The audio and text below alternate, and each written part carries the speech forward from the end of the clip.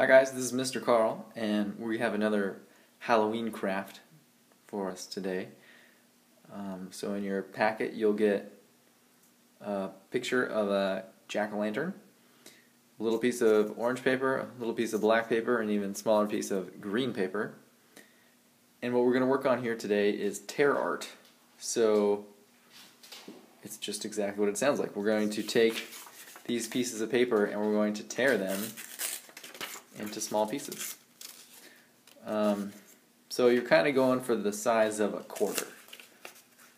If you go too small, like this, um, it's going to take forever. Um, and if you go too big, like this, um, it's going to go too fast and you can't really get too detailed with your work. So about the size of a quarter is probably good um, for this. So we're just going to tear up our piece of paper here. I'm going to start with the orange. Um, so I'm left-handed, so you'll notice the hand that's doing the tearing is probably your, the dominant hand, or the hand that's pulling down probably be the dominant hand. Um, yeah, so this is a good uh, activity because it uses both hands together. You have to coordinate them both. Also, it takes some finger strength. We're using pincer grasps on both um, with both hands. If tearing is hard, you can give your your paper a little start and then ask your student to tear. So you could do a few starts like this, and then it might be easier for them to pull them off more than tear.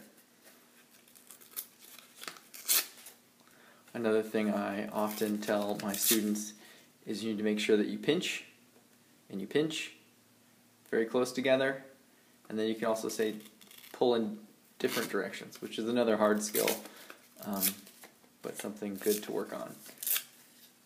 So pinch, pinch, and pull in different directions. Right?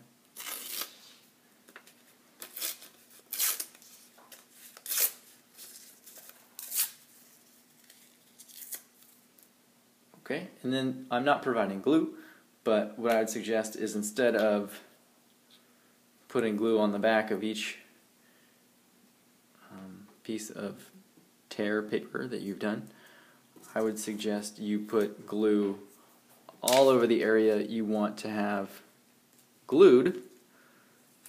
Um, so right now we're going to do the orange part, so I'm going to just do where orange would typically be on a pumpkin.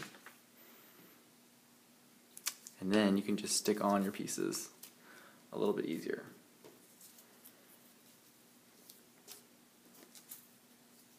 And so the sticking them on part, this kind of works on some visual motor integration piece, some visual perceptual. Um, we're trying to get it inside the pumpkin, not we're not gluing out there. Um, we're gluing inside the pumpkin. And if you can, I'd have your student um, do the gluing themselves if they can. They have to hold. Okay, so like I was saying, the benefits of having your student glue themselves is that they have to coordinate both hands again. One hand has to hold down the paper, and the other hand has to push down with some force to get the glue on there. Um, so we'll do that now with the black.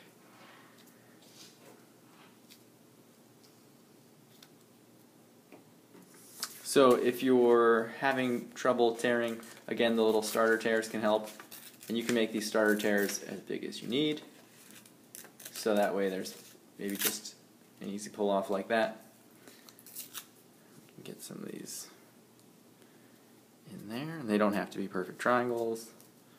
It's kind of a nice thing about tear art is it's not not got to be just so, but a lot of our students like things to be just certain way. So working on our flexibility there. Um, so we're just putting on our black paper.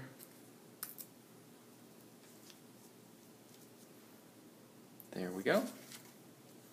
And then we'll do some green. That's a big chunk. Maybe not that much glue. Okay. And then I'm just probably going to use one. There we go. And if you want, if you're working on cutting, you could cut out your pumpkin. Um, if not, if you're working on writing your name, flip it over. I like to have a big box as far as where we're going to put our name, so I'd probably go like this. And if you need to connect dots, you can make dots.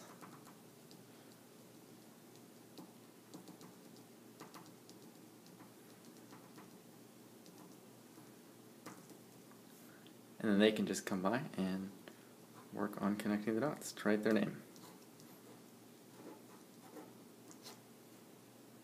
Okay. And there is your tear art. Oh, we lost an eyeball. Your tear art jack o' lantern for Halloween. All right, let me know how that goes.